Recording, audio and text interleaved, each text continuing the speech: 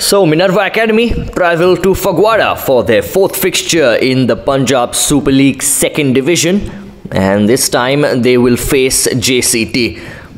Yan Law and his men will want to put that 1 1 draw against Principal Harbhajan SA behind them as quickly as possible, and this presents an opportunity to do just that. A strong starting 11 for the Warriors, as you can see, and as you'd expect, Anwar Ali will be leading the side yet again from the centre of defence.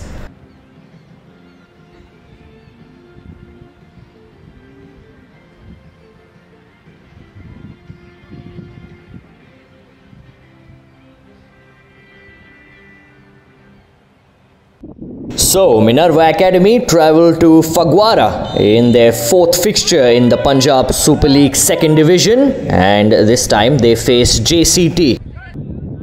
Throw in here for Minerva Academy. Mm, That's a lovely turn from Subham Chetry. Beautiful work there from the left end, and the finishing touch provided by Lalranchinna.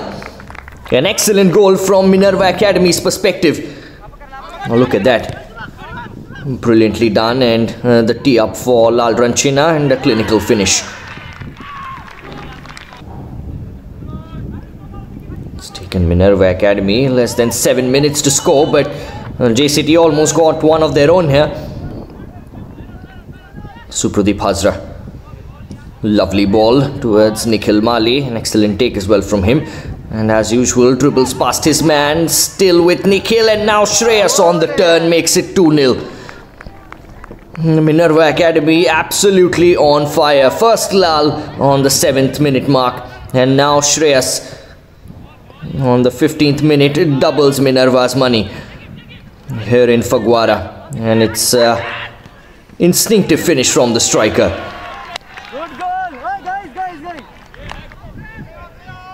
Here is Shreyas, full of confidence, having scored his first and draws the save out of the goalkeeper. You had to get there low. Here come JCT now, and, uh, that's surely going to be a foul. And well, a red card here for Suprodeep Hazra, who'd already been booked, and Minerva down to 10 men now. This is Shreyas. Shreyas with the shot. Oh, whiskers away from that far post. Well, he's had a few of these, hasn't he? Looks so bright in this first half. Is Radha. Steals it off the toes and now again teed up for Shreyas who lashes it straight into the hands of the goalkeeper and could have had a hat trick easily.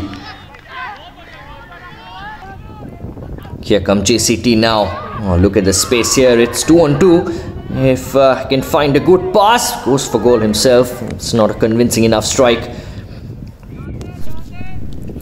It's half time, and Minerva Academy have been completely dominant as you'd expect, taking the lead early through Lal and then Shreyas making it 2 0 within the first quarter of an hour. Minerva Academy were already looking comfortable and in cruise control. A glimmer of hope, though, for JCT is that the visitors are down to 10 men owing to a red card to Suprodeep Hazra. But with the kind of form Minerva Academy are in, it is going to be an extremely tall ask to stop them. At halftime, it's Minerva Academy 2, JCT nil. Right, and JCT uh, will get us off for the second half. It's an uphill task for them here, really. We need a goal early in this second half, but here Minerva Academy might just get their third, and they have done Mm, through mm, the assured left boot of Nikhil Mali. There is just no stopping this team at the moment. They split open the defense, and what an emphatic finish from Nikhil Mali. Here he is again. Nikhil looking to get his second of the game. Just a few inches over the bar. Now here come JCT with a chance of their own. Oh, I think it kissed Oh, the crossbar. Let's have a look at this again. It's a good ball in and that sh really should have been a goal for JCT. Now here come Minerva Academy again. Another ball in and Shreyas V.G looking to get on the end of it again.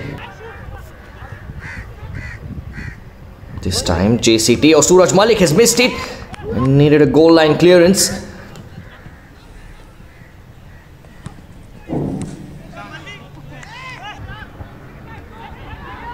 Here come Minerva Academy again. Nikhil slips it through to Suraj Gurung.